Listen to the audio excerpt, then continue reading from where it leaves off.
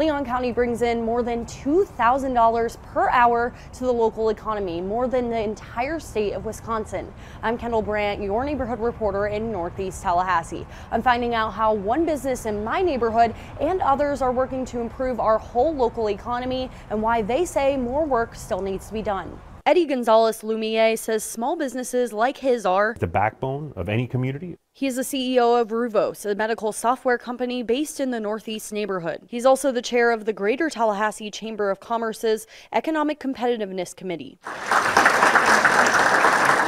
Gonzalez Loumiet and other leaders with the local and state chamber gave an update on the state of our local economy Thursday. Over the last year, Leon County has grown their job market by more than 4,000 positions. One in every 72 new jobs in Florida is in Leon County. It shows that, you know, Leon County, Tallahassee has improved. However, the data also shows we have a lot of work to do. Some of that work increasing the number of people working in our county. For every 100 jobs open in the state of Florida, only 83 people are looking for work. In Leon County, only 55 people are vying for those 100 positions.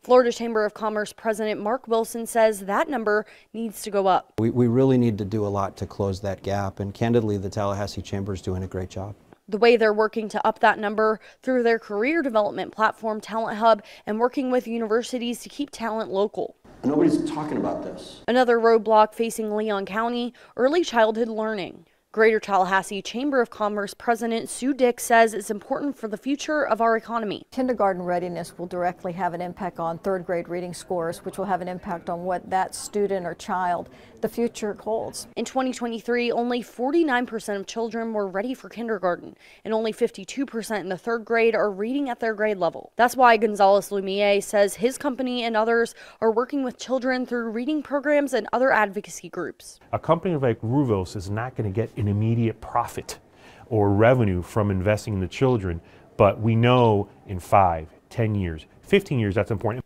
That's why he is proud to be an entrepreneur in the capital region. A strong small business, as we heard from Mark Wilson, supports better education, quality of life, and really improves economic development.